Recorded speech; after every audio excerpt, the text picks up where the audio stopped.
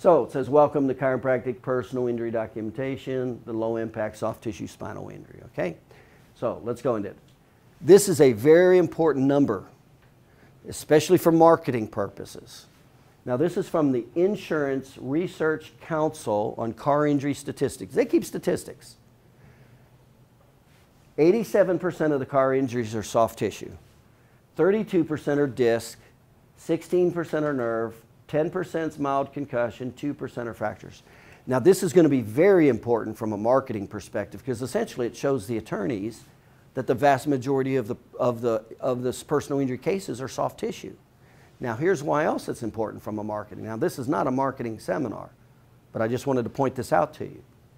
And you saw this last night. I only went to be the leader in one of those categories, not all of those categories.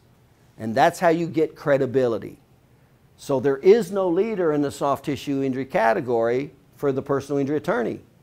The orthopedic surgeon, the neurologist, they're not the leaders in that category. In other words, it's a void. It's wide open. That's the lane you want to go in, number one, because that's what you're best at is the soft tissue. Number two, you don't have to overcome any competition in that soft tissue. Did you see that presentation last night? Did I have to compete against an orthopedic surgeon with that presentation? Did I have to compete against a neurologist?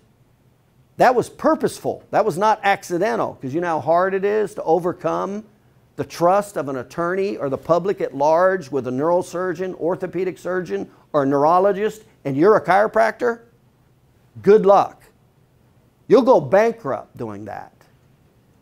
So you never go after, from a marketing perspective, as far as going in, the disc, who do they know they can deal with automatically with the disc? They don't need you at all. So guess how hard of a presentation that's going to be? How hard is it for somebody to, with a, with a product that you use, toothpaste, you probably buy the same toothpaste all the time, don't you? Your wife does. Okay? How hard is it for you to change that product after you're used to it, familiar with it, and you're comfortable with it? That's why you'll go bankrupt. Don't do it.